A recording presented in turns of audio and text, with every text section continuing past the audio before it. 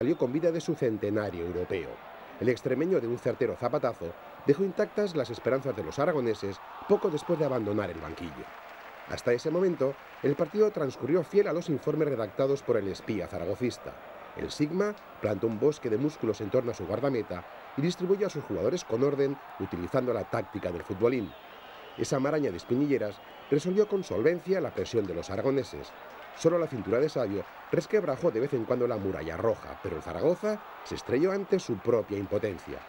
Los remates agonizaron una y otra vez frente al autobús checo, mientras la puntería se perdió lejos de los tres palos. Más que remates a puerta, eran ensayos de rugby. En la segunda mitad Álvaro cayó en el área, sin que el colegiado apreciase zancadilla al reglamento. Tantas veces se repitió la historia que al final el público temió que se volviese en su contra.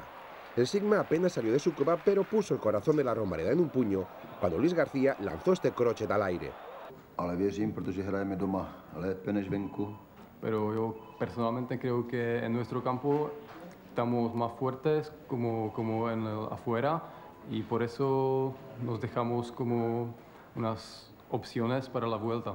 Para mí mis jugadores se han mostrado con, con, con las ideas muy claras, jugando muy bien y quizá nos falta un poco de lucidez en el remate y precisión, pero no por, eh, por de mérito de los jugadores de Zaragoza, sino por mérito del, del trabajo defensivo de ellos.